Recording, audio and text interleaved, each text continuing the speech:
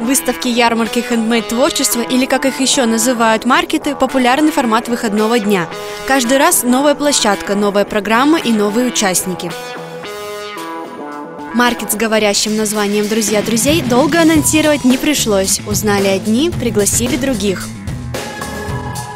Здесь собрались друзья, друзья друзей, друзья этих друзей. Нет, на самом деле здесь э, очень ламповая атмосфера, потому что многие люди друг друга знают. Лично я очень благодарна этому маркету за то, что я нашла столько новых людей для себя. Ну, они стали моими друзьями. Вот, поэтому ну, название, оно себя э, оправдало.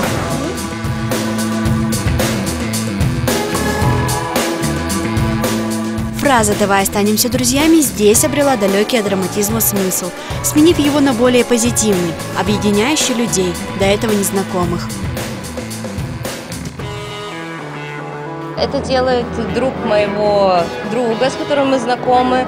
Вот, первое мероприятие я пропустила, поэтому очень хотела попасть на это. Я почитала о нем, и мне понравилось, какие ребята тут представлены. И я как раз давно, знаете, когда собираешься, вроде хочешь что-то купить, собираешься и откладываешь. Вот здесь есть эти ребята, я как раз пришла к ним, чтобы наконец-то это сделать. Тут очень много моих знакомых оказалось, и все товары почти уникальные, которые невозможно найти в другом месте. Узнала через друзей в социальных группах, ну, ВКонтакте. Мне скинули друзья, пригласили.